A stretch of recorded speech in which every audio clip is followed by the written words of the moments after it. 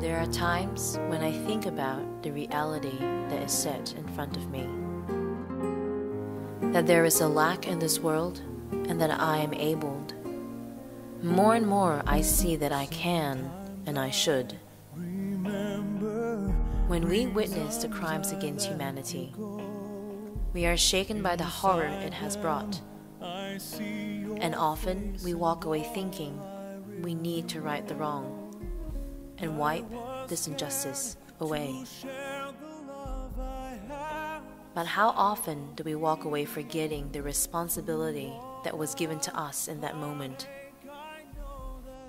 The ability to care is in our hands, to go above and beyond ourselves.